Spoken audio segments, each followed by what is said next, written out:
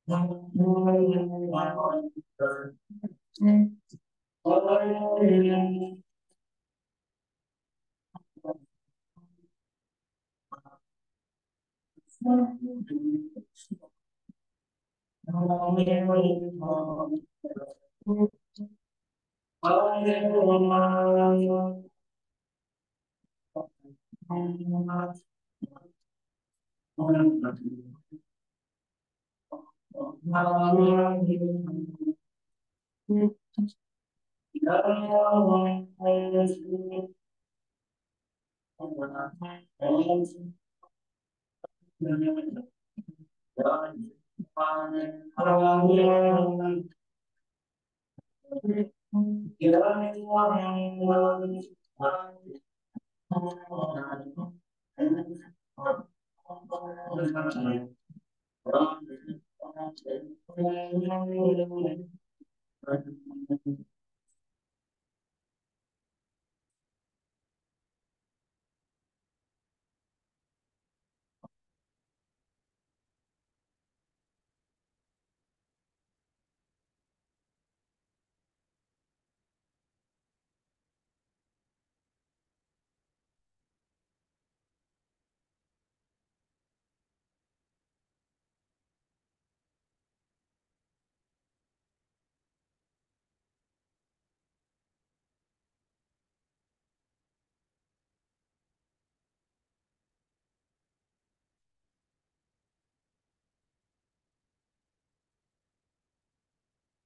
Hare Krishna, everyone. Offer my Dharma press.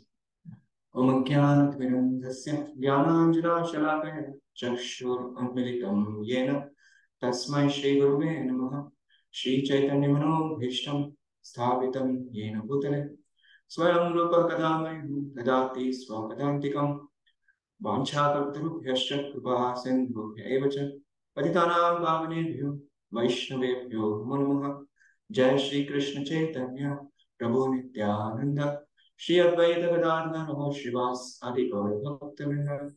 Hare Krishna Hare Krishna, Krishna Krishna, Hare Hare. Hare Ram Hare Ram Ram Ram, Hare Hare. Welcome everyone to the Sunday feast.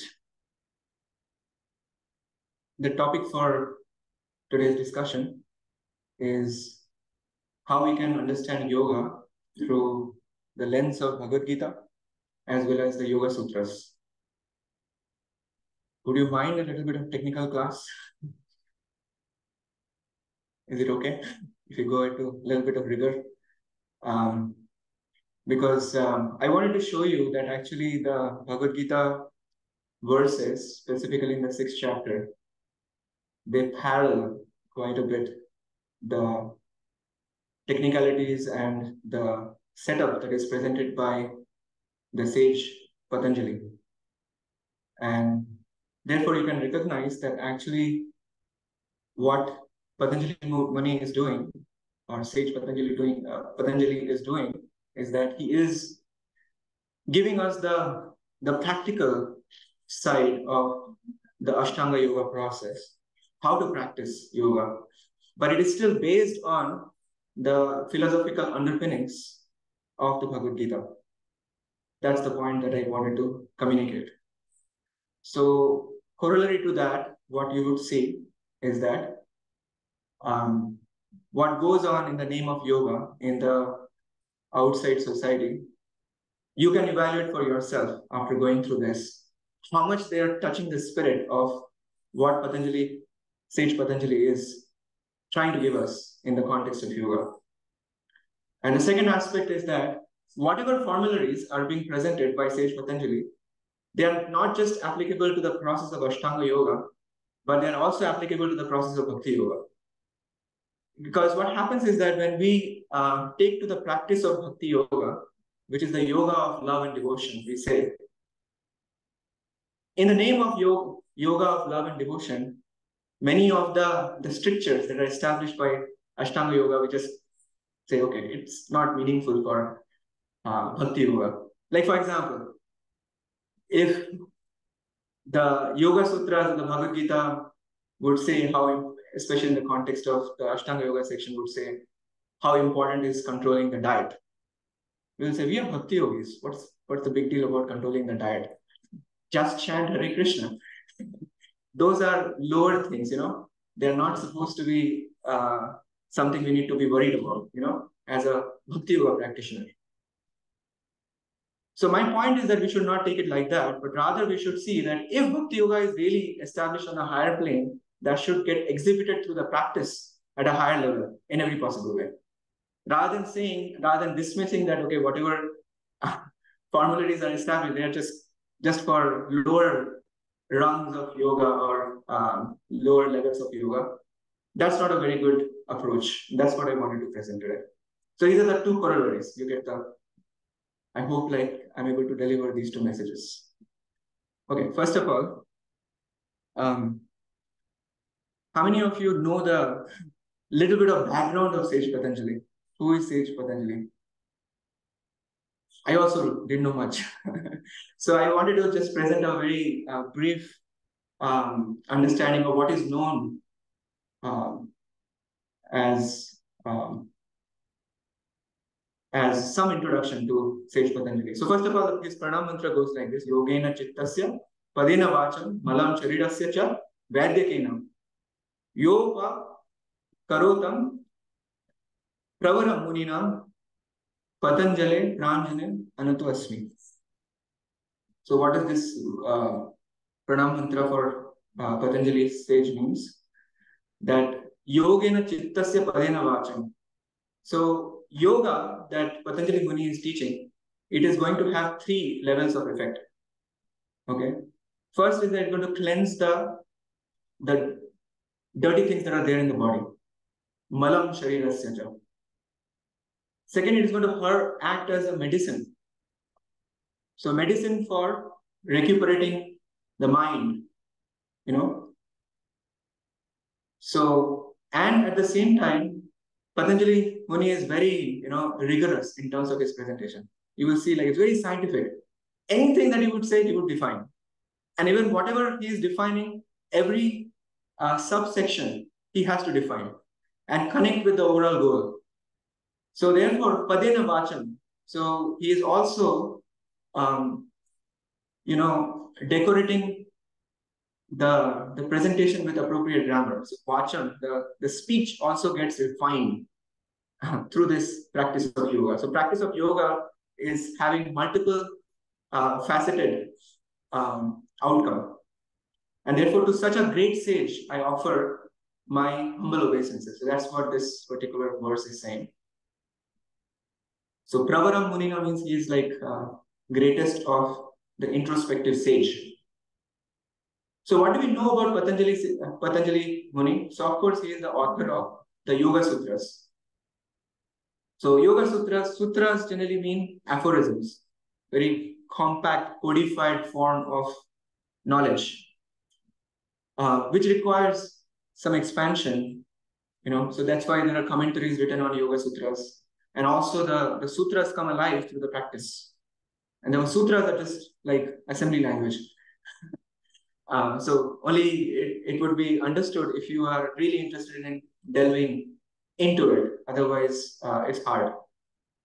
So, so therefore, Yoga Sutra, so these sutras or these aphorisms form the basis for the practice of particularly a form of yoga, which is Ashtanga Yoga or Hatha Yoga. So very little about his lifetime is known. Um, and interestingly, he is known also as the incarnation of Lord Ananta, who is the, the serpent bed of Lord Vishnu. He is also known to be uh, the son of Atri Rishi. And it is said that he fell into the praying hands of a great yogini whose name is Gonika. And because he fell into her hands, therefore that pata, you know, pata means to fall down. Anjali, because it's in the prayerful mode uh, of yogini Gonika, therefore his name became Patanjali, Pata Anjali. So falling into the prayerful hands of Gonika. Okay, something, something to learn about who is this sage Patanjali. Okay, it's very interesting. Srimad Bhagavatam, this is a very interesting verse uh, coming in the third canto, uh, which is in the, the Sankhya Yoga section of uh, Kapiladev. So it is stated there that by practicing the process of pranayama, one can eradicate the contamination of his physiological condition by dharana, which is the concentration of the mind, one can become free from sinful activities. By pratyahara, which means withdrawal of the senses or restraint of the senses, one can free himself or herself from, I need to replace all this him with one self, I think. Otherwise, somebody may feel, why am I taken out of? By restraining the senses, one, one can free oneself from material association. And by meditating on the Supreme Personality of God, which is Dhyan, one can become free from the three modes of material nature. So what this verse is talking about is giving a synopsis of pranayam, pratyahar, dharana, dhyan. You can see that leading up to samadhi. But the effects that are mentioned, it's quite interesting, isn't it? By practicing the breathing process, you are removing any kind of psych, uh, physiological defects out of your body. Right? Which means breathing is very powerful in order to cure many bodily ailments. Through the practice of dharana, one becomes free from sinful activities just by concentrating the mind. By pratyahar, which is voluntary withdrawal of the senses, one becomes free from material association. And there is a, um, the process of dhyan has to have an object. So that's why meditating on the Supreme Personality of God, it is particularly called out if you look at the verse. It's not just dhyan, it says dhyanena ishwaram gunam, right? It's just not saying dhyanena. It, it, it doesn't mean that you just take a cell phone and you meditate on the cell phone and it will have the effect of freedom from the three modes of material nature. The dhyan, the meditation should have an object which is also purifying by nature, and that's the point. And therefore, dhyanena ishwaram on the supreme personality of God, on the supreme controller, then it will have the effect of freeing you from the modes of material nature. Okay, isn't that interesting? Srimad Bhagavatam is presenting this uh, importance of the the last stages of the Ashtanga Yoga process. So we cannot just dismiss that, okay, it's not important. Like we need to understand. Now, because mind is central to understanding of the yoga, so I thought I would give a little bit of introduction to the mind. So mind is what? Mind is the central processing unit. CPU, literally. And therefore, it becomes a very important uh, point for yoga to control. Because if you are not able to harness the power of this central processing unit of our existential reality, then we are missing out on everything, basically, right? So what is there in the mind? What do you think is there in the mind? What is mind containing? Thoughts. Huh? Thoughts, yeah. Fundamentally, mind is just filled with desires. kama. Mind means it is filled with kama. It's very interesting. Throughout the Bhagavad Gita, if you notice, every chapter, every chapter deals with kama and dharma. If you analyze carefully. Second chapter, I mean, first chapter, Bhagavad Gita does not technically begin. It's just more uh, setting up the stage. Second chapter, what is the re reference to kama there in the second chapter? Punsa. By the contemplation of the senses on the sense object comes attachment. And born out of attachment is kama or lust or desires. Desires for enjoying these objects of sense gratification. So that is fundamentally what is kama. The, the relentless um, tendency to enjoy objects of this material world. And how do we enjoy? Bringing the objects in contact with the, the senses, right? That's how we enjoy. So mind gets attracted first, and then we want to grab. That's basically the content within the mind is or desires. What comes out of the desires? What happens to the desires? What do you do with those desires? What do we do generally when we have desires? Try it. Not every desire we are able to fulfill, unfortunately. In fact, very small proportion of the desires we're actually able to fulfill. So as we go through life, all we are growing is just mountain of the desires, right? There's always a deficit of the unfulfilled desires, is it not? That's exactly what Krishna says. So what in the third chapter, what is the reference to karma? Kama, Esha, Krodha, Esha, Rajoguna Samudbhava, Mahashana, Mahapapma, Vidhi, Ena, Iha, Verinu.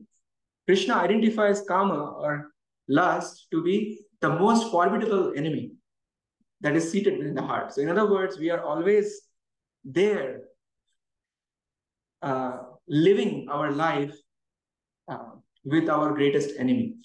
You know, Mahashanu, Mahapapma, and it is the greatest symbol of sin. That's how Krishna points out. And he says that Avritam jnanam etena, jnanino, nitya verina, kama rupena kaunteya, dusht purina analinacha. What is the role that these desires play? They cover, cover the jnana. The intelligence of the most intelligent becomes completely covered. The, in, the knowledge of the most knowledgeable, completely covered. We can't see things as they are because it is covered over by lust or these desires. That's a reference to the third chapter, right? Fourth chapter, what is the reference to kama? I'm just trying to make sure that you understand how pervasive this, this treatment of kama is throughout the Bhagavad Gita. Fourth, 4.10, Krishna says, Vita raga bhaya krodha, man maya upashrita. So there the, the word that is used is raga. Raga means the attachment that is born out of kama. Right? Kama means there has to be attachment also. There's desires. I want it. You know, you're attaching to those desires. So raga. So Krishna says, Vita raga bhaya krodha. If you want to experience happiness, you need to learn the art of remaining free from three things. Raga, kama, so vita, raga, bhaya, and krodha. Fear and anger. So these are very dangerous. Fifth chapter, what is the reference to kama? Do we have reference to kama? Shaknuti eva iha sodum prak sharira vimokshanam kama krodhodbhavam vegam Sasukhi Narha. Krishna saying, who can become happy? Krishna is saying that before leaving this body, Prak Sharir Vimokshanat, before leaving this body that we have got. If you can learn one art, what is that? Shaknoti. Shaknoti means one is able to. Able to do what? Yeah, Shodum. Shodum means to tolerate. Tolerate what?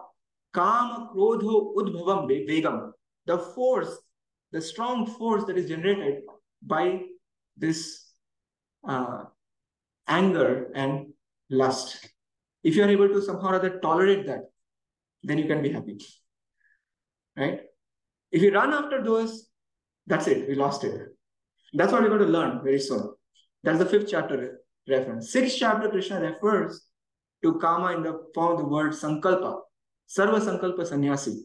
If you want to really become a yogic practitioner, you need to learn to become Sarva Sankalpa Sannyasi, which means you need to learn the art of giving up desires for sense gratification. Sarva, all desires for sense gratification.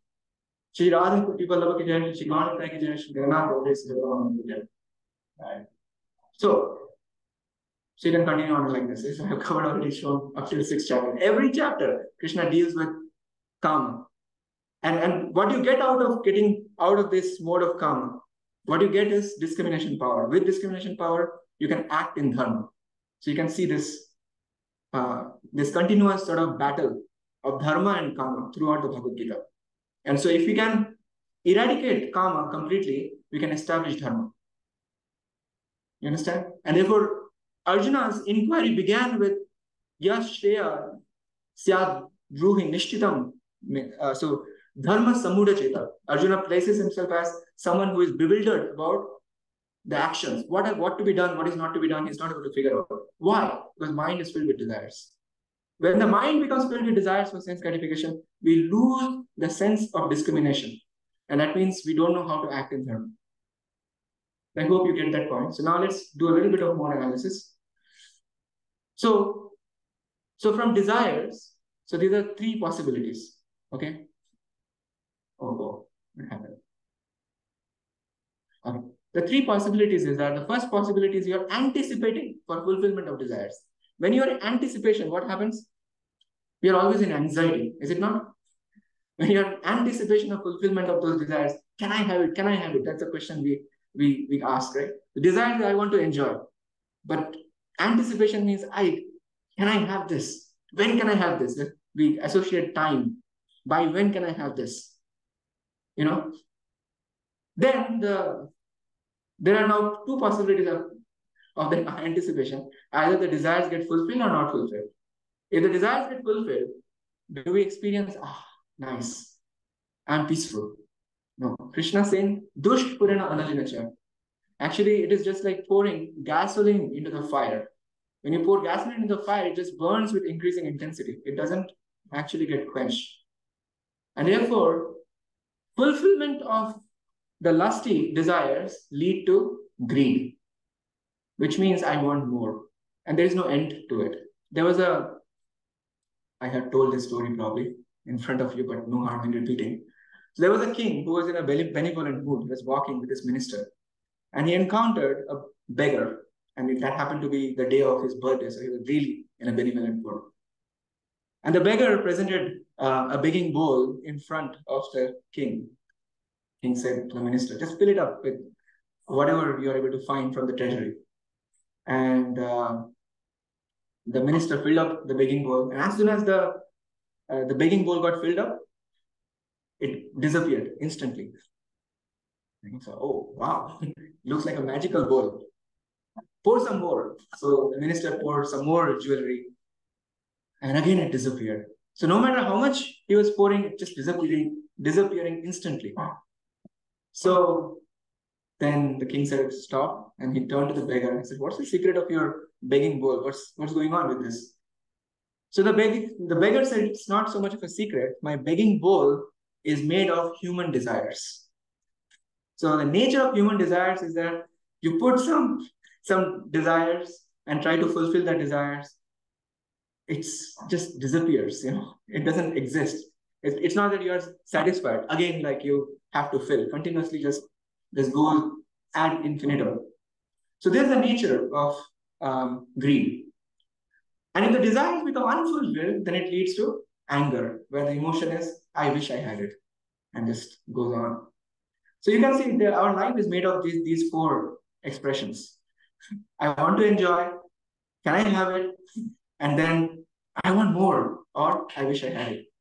Is it a very pleasurable experience as you go through life? What do you think? Does it give you a lot of pleasure? We are always in this mood of hankering and lamentation. So the mind does not exist alone. Okay, mind does not exist alone. It is a part of a bigger unit, which is called chitta. So I'm again going into a little bit of technicality, as I referenced here some yoga sutras. So I'm going to define whatever I say today, everything you will find definition today. So the soul right now is situated within two layers of covering. There is the, the layer of the subtle body, which is called chitta. The chitta is the sum total of the subtle body, which is comprised of mind, intelligence, and ego. So most importantly, we have to understand that we can perceive the soul only when this intelligence um, is somehow developing the sense of discrimination by the strength of yoga. And what do we do with that power of discrimination? Through the lens of the intelligence, it is able to differentiate between the body and the soul, and therefore it leads to self realization. So, therefore, buddhi is the liaison between the soul and the objects of which the soul becomes aware. Okay, so the intelligence, therefore, the sense of discrimination can be put in four uh, ways. It basically carries the judgment, knowledge, ascertainment, and will. These are the four things that make up the sense of discrimination. Mind is just like a you know repository of all kinds of past impressions, uh, this desires, and so on and so forth. Therefore, mind is basically containing this power of reflection and desiring. So what is it reflecting on? It's reflecting on the stored impressions. And the based on the stimuli that are provided, it comes up with desire. I want to have it. So therefore, mind is always going through this sankalpa and vikalpa. I like it, I don't like it, you know, and, and continuously goes into this reflection and desiring. And ego or ahankar, it produces basically self-awareness and a sense of self-identity. So when we are misidentifying with our covering, then obviously the sense of identity that it generate, generates, it becomes false because it is falsely directed towards this body, thinking that I'm this body, I'm this mind, I'm this intelligence. And we lose track of our inherent nature. And what is our inherent nature? Our inherent nature is that we are Sachid Ananda. We are actually supposed to be the blissful and knowledgeable souls eternally. But we have forgotten because we are entrapped within, within matter. So, so we have to understand that the soul is not situated in the vacuum either. Soul is directly connected with the source of its existence, which is God. Krishna says, Mama Vansha Jiva Loke, Jiva Bhuta Sanatanam. Mana Shashkani Indriyani Prakristani Karshati. The soul has got a primordial connection with God. And particularly Krishna says, yes, all the souls have connection with me. Mama Eva Ansha. So we all have are having eternal relationship with Krishna because we are all parts and parcels of God.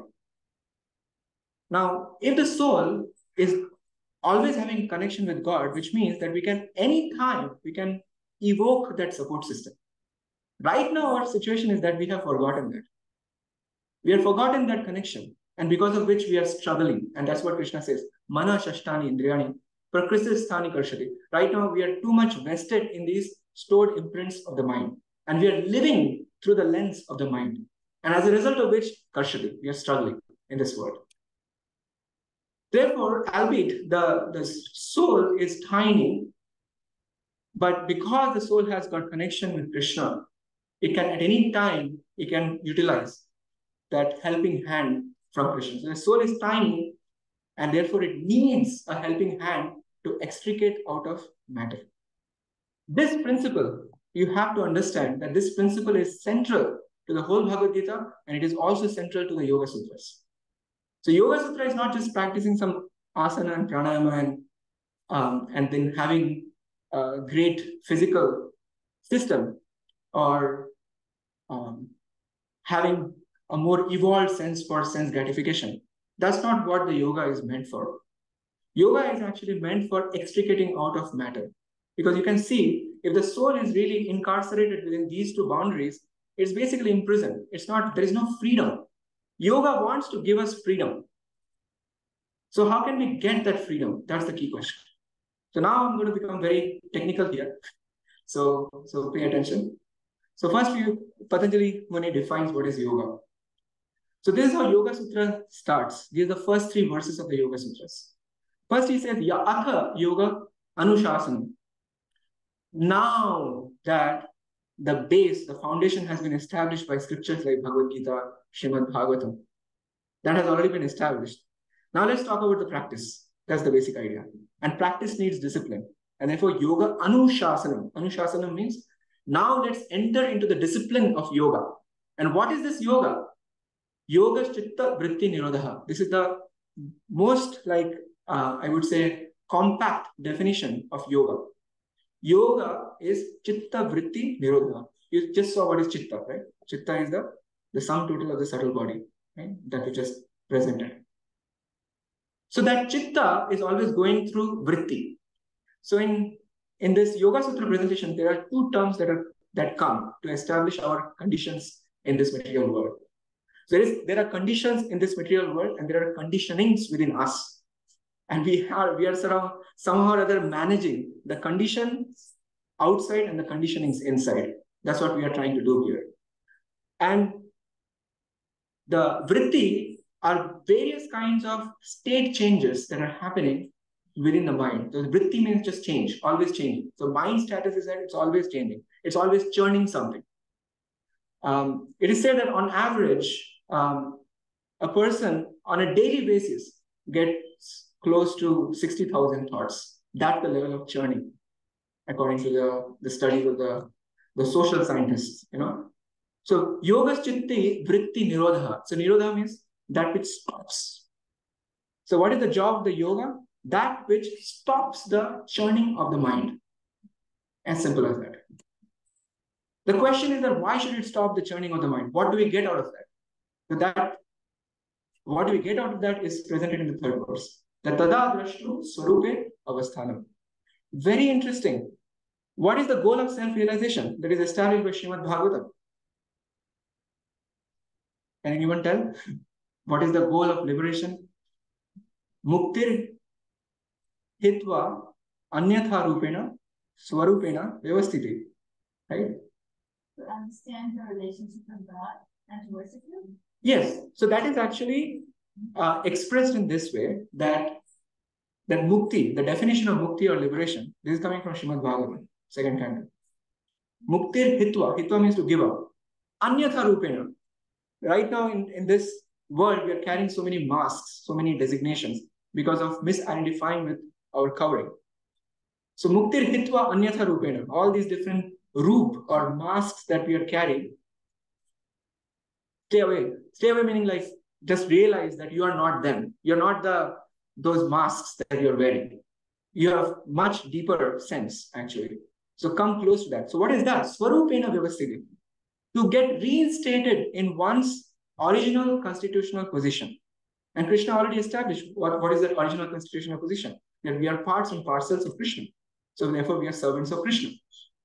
And therefore, Krishna Chaitanya Mahaprabhu says, Jiver Sharup hai Krishner Nityodash. That the eternal constitutional position of all living entities is, is that, that they are eternal servants of Krishna. So you can see how there is a perfect synthesis of all these uh, things that are presented. You know, and Patanjali Muni is exactly saying that Tada Drashtu Swarupe Avasthanam. The goal of the yoga is to re-establish in our constitutional position. Okay, this is very interesting. So Patanjali Muni is saying, why practice yoga? Tapaha, so three things that is presented. Tapa Swadhyaya Ishvara Pranidhanani Kriya Yoga. Why practice yoga? Or what do we try to achieve while practicing yoga? First is that we are getting austerity out of it. Second, Swadhyaya. Swadhyaya means there is a study going on. Study going of what? Of who you are.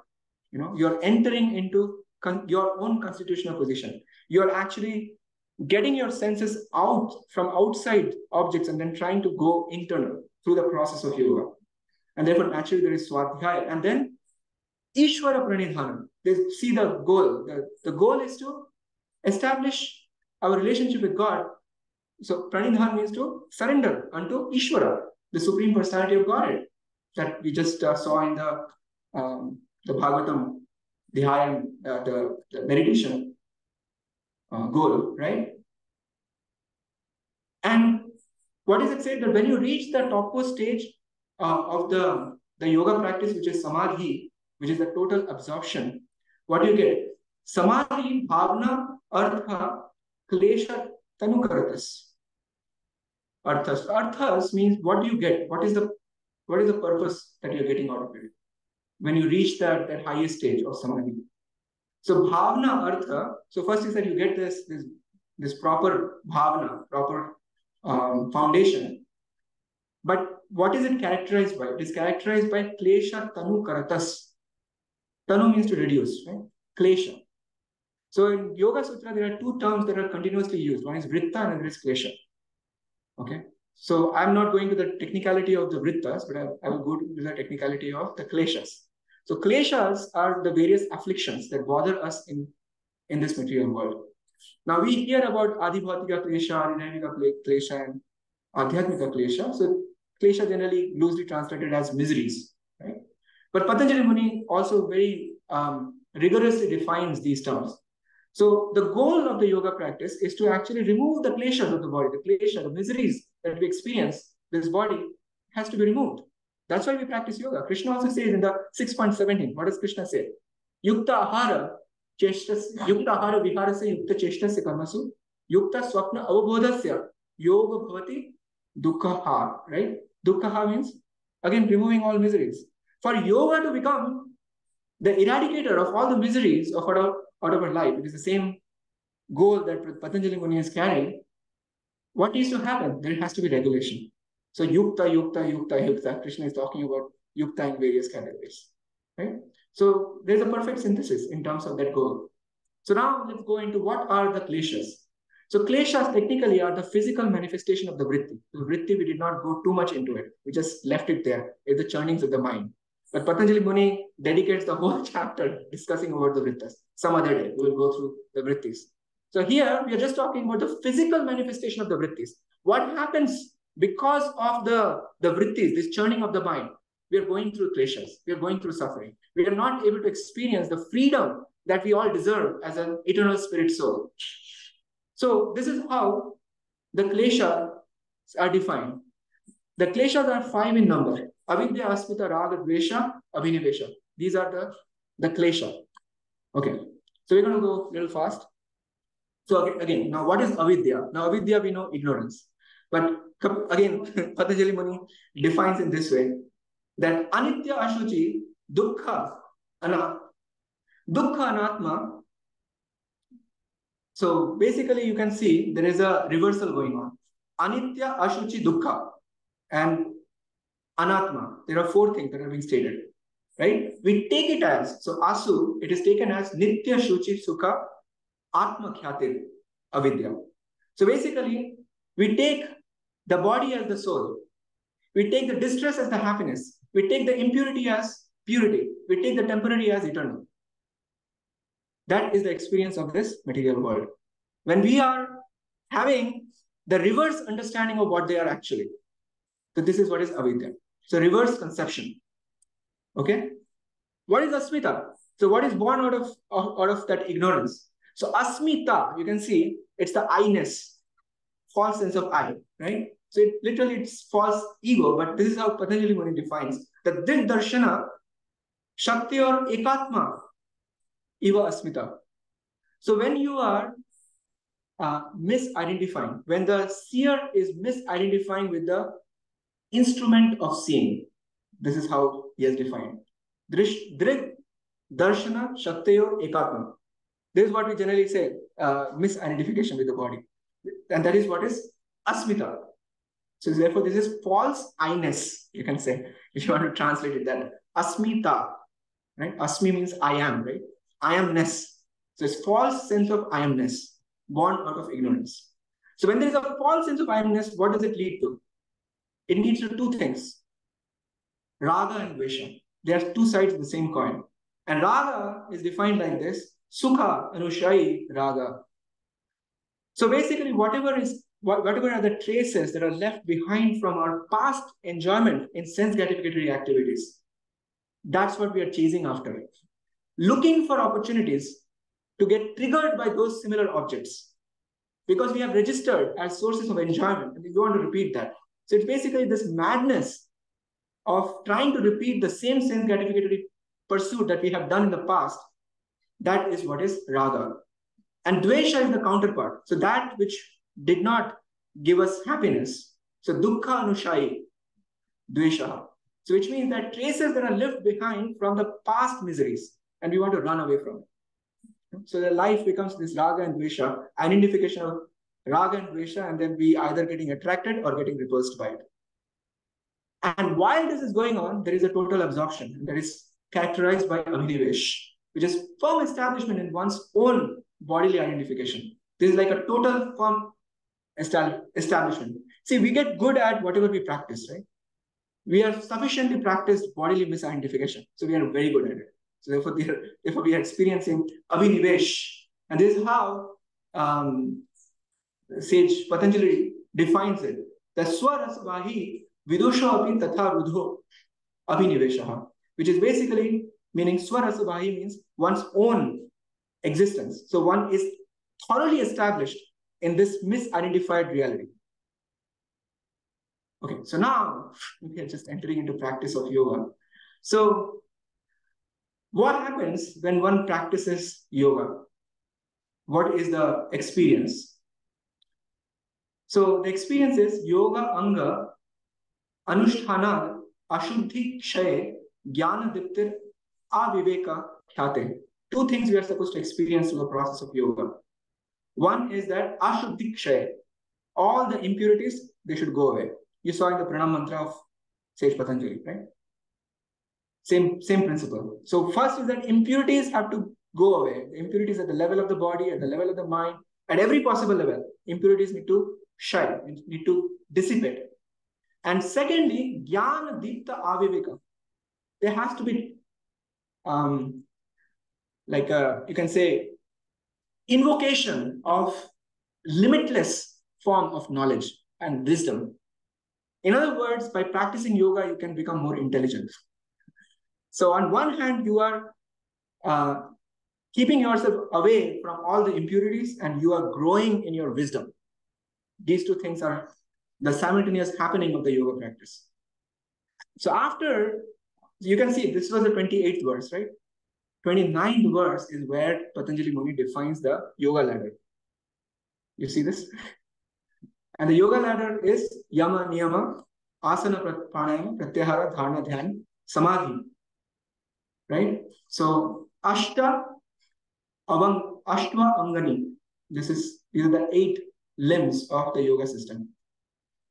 So how does the, the this whole eight um, eightfold yoga system get established? So it begins with yama and niyama. So yama means that which is to be given up. So don'ts essentially the regulations. So but Patanjali when he defines what are you giving up exactly. You know, so there are five yamas.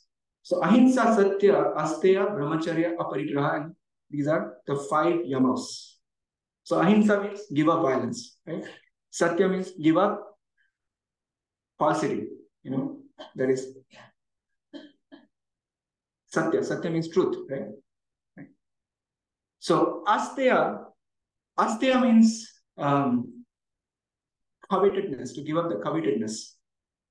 Um, no, giving up thievery, not covetedness. Giving up the stealing mentality, that is asteya. Brahmacharya means celibacy, which means giving up this um, very um, sense gratificatory lifestyle. And aparigraha is what is non-covetousness, where, or you can say non-greed. So these are the foundation of the yama. And now this next verse is pretty interesting. What what uh, uh, Patanjali Muni is saying here that Jati Desha Kala Samay Anavat Anavachinna Sarvabhauma Mahavratam. So before you begin the practice of Ashtanga Yoga, you need to take this Mahavrat. Mahavrat means this great vows you have to take. Regardless of Jati, Desha, Kala, Samay, Avichinna, Anavichinna without getting broken by time, place, and circumstance. Doesn't matter whether in America, whether in India, whether in the forest of Himalaya. It doesn't matter. the yamas have to be first established before you can go to the next stage. Next stage. Just look at the, the rigor that is put in. So now you can think the, the yoga society that is getting established, how many are thinking about practicing these yamas? It's very difficult. And likewise, there are niyamas. The niyamas are also five in number. The shacha, shantosh, tapa, swadhyaya, ishvara pranidhanani, niyama. So these, these niyamas that, that uh, Yoga Sutras have established, I wanted to show, I don't think I will have time for showing that, the, the, the yoga setup that Krishna gives in the sixth chapter of the Bhagavad Gita, they contain exactly the same terms. Same Sanskrit words appear there. That is what is very interesting. So where is Patanjali Muni is deriving his wisdom from? From the Bhagavad Gita. You know. So shacha, shacha means purity. Santosh means contentment, satisfaction. Tapa, tapa means austerity. Swadhyaya, swadhyaya means regulated study of regular study of scriptures. And then ultimately, again, Ishwar Pranidhan. There has to be submission to God. All of these are niyamas that have to be there. And then you are ready for practicing asana, which is basically sthira sukha asana. So asana should be done, uh, characterized by two things. There has to be steadiness and comfort. so if you are practicing some Paschima Tanasan with like a lot of discomfort, you know, so it takes time to go there. The idea is that it should not cause you pain. It should just increase your awareness because it's it's always thira sukha asanam. It's not like you're wobbly, you know.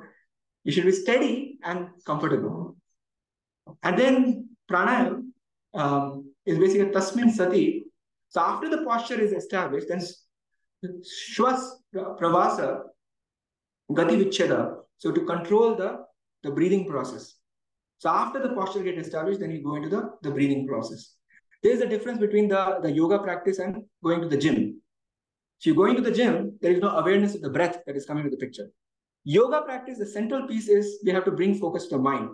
So we have to become more and more aware of our internals. So it begins with, with bringing um, awareness to our breathing first, you know.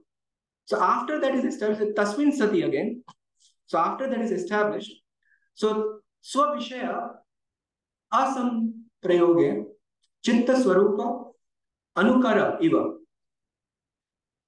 Indriyanam Pratyahara. So what is Pratyahara? It's the withdrawal of the objects, oh no, sorry, withdrawal, withdrawing from the objects following the original nature of the chitta. So notice this very carefully. Following the original nature of the chitta. So original nature of the chitta meaning that actually the mind's original nature is sattva. Like that is relatable to the, the creation, how the creation happens, you know. So original nature of the chitta is actually mode of goodness. Therefore, one has to be situated in the mode of goodness in order to practice pratyahara. And then there is a voluntary withdrawal of the senses from the sense objects.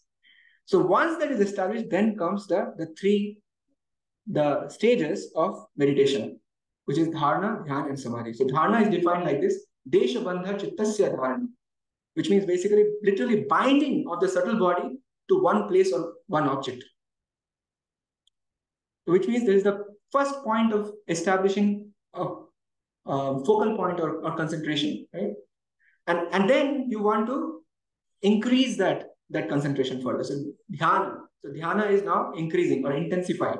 So tatra pratyaya ekantata dhyanam. So there has to be then continuous flow of cognition towards that object. So which means now you are increasing the, the span. And ultimately that should lead to samadhi. And samadhi is beautifully defined as tat eva artha matra nirbhasam swarup shunyam iva samadhi. So what does that mean? So after you have reached the samadhi, then only one object is shining forth, which is your object of meditation. The object of meditation has already been established, Ishvara Pranidhana. And we also saw in the Srimad Bhagavatam, right? Ishvara, the dhyan is always going to the Supreme Personality of Godhead, Shri Krishna, and also because we have relationship with Him.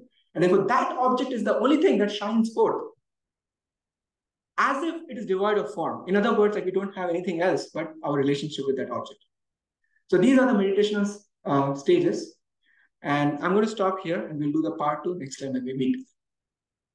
So thank you very much.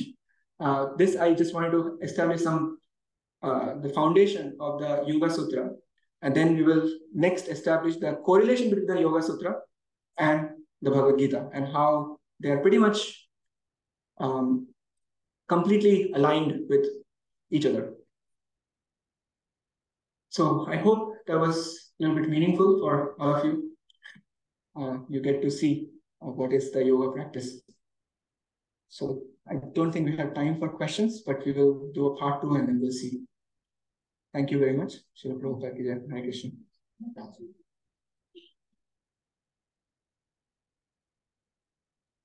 So you'll see like the next section, I will go into the, the Bhagavad Gita. Okay, so the time for Aarti, right? Okay. Um, should I log off from this Zoom? Yeah, okay.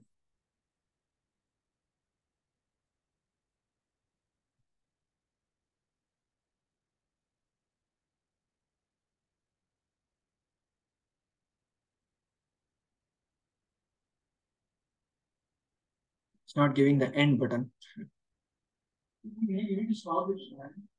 Uh, but even that button is not there.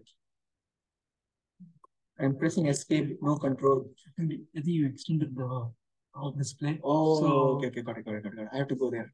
Yeah. Oh, sorry. Oh, yeah. Got it. I see. Now I see. Yeah. Thank you. I should not end meeting It's when you can